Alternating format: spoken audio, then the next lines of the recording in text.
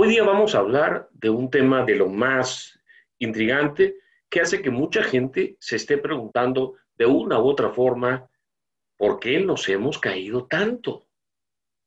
¿Por qué si eh, supuestamente éramos una economía muy fuerte, muy sólida, amanecimos viendo cifras que contrastan que, por ejemplo, a junio pasado, tanto la producción primaria como la no primaria están cayéndose 10%, septiembre dibuja para 15 y posiblemente a fin de año los, los indicadores están coqueteando más con el menos 20 que con el menos 15.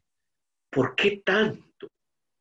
Y esa pregunta que inquieta a muchos ha sido tratado de responder de la manera más eh, eh, sencilla, es decir, el virus, la pandemia, afecta a todo el planeta, pero ¿sabe qué? Si uno revisa proyecciones para ese año del Fondo Monetario, va a encontrar que solo el Perú tiene menos 14. Eh, para Estados Unidos se proyecta menos 8, para Australia menos, menos 4.5, incluso para Egipto es crecimiento de 2%. Entonces, ¿qué estamos hablando? No es un fenómeno global, hay países que se hunden más. Entonces, ah, somos nosotros los cholos. ¿Cómo así?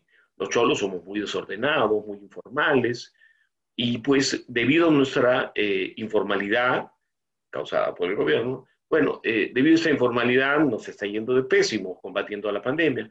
Pero sabes qué? Eh, resulta que Mali tiene 88.9 de informalidad, India tiene cerca de 80, Bolivia está cerca de 70 y tantos por ciento, y el Perú en términos de informalidad laboral estaba el año pasado cerca del 60%, habrá subido a 70, pero hay muchos otros países que tienen informalidad tan grande, no todos somos Uruguay ni Chile. Por lo tanto, eh, la informalidad tampoco es la causa eh, gravitante de por qué nos hayamos caído tanto. Mis amigos de izquierda tienden a decir que, por supuesto, es un shock externo, es el malvado exterior, pero los precios internacionales peruanos, son todavía buenos. En cambio nos sonríen, son mucho más altos que los de Alan García y en realidad una gran caída desde 2010 a la fecha no se observa. Bueno, entonces, bueno, el culpable es Alarcón y seguramente el presidente del Congreso y señor Batters, que le hacen mala vibra, pero en realidad eh, nunca hemos visto eh, el riesgo país de Perú mejor que ahora. Estamos muy por encima del promedio sudamericano y estamos en cerca de ciento y pico puntos, a pesar de la desgracia que pasa en el país.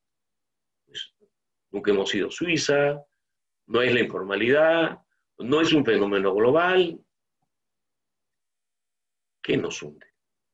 pues nos, nos hunde una sucesión de errores de política económica de este gobierno.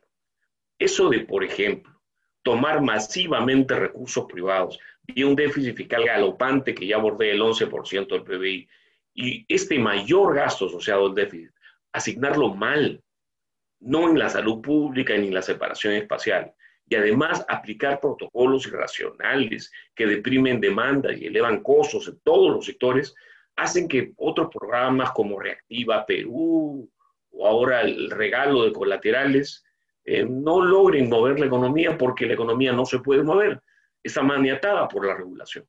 Hoy los peruanos enfrentamos un tremendo déficit fiscal que succiona recursos de todos y un shock burocrático nunca antes visto. En pocos países en la historia del planeta, una mega recesión fue causada por errores del gobierno.